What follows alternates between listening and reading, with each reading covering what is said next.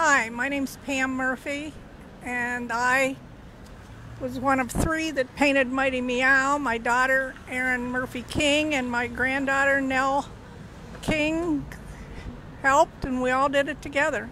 Great. And why did you choose to do a cat? Well, the Kiwanis sponsor children's programs, and we wanted to do something that reflected the children. So we decided on a um, superhero, and we named him Mighty Meow. And can you tell me about his costume?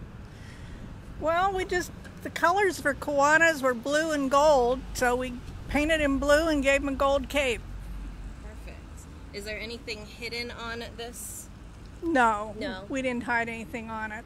So like there's gold specks here. Gold speckles, yeah. What else can we find on here? He has gold buttons. And those are all Kiwanis colors.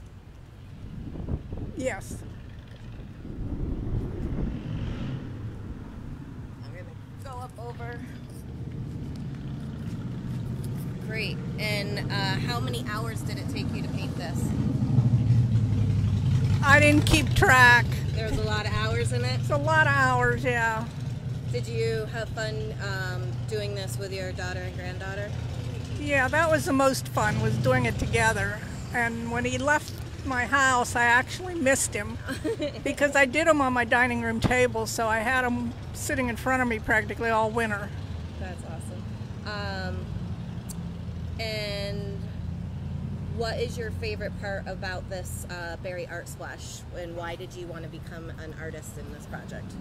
Well, it started out that Karl um, wanted the Palatiers involved, and I belong to the Palatiers, and I helped with our artwork over on Summer Street. And when this was brought up, they needed people to do the artwork, and I thought, well, I'll try it. I've never done anything like this before, and it was interesting. I'd, I'd do it again. Good. Um, think that's it. Like, um, thank you for having us. Well, thank you for the interview. Thank you.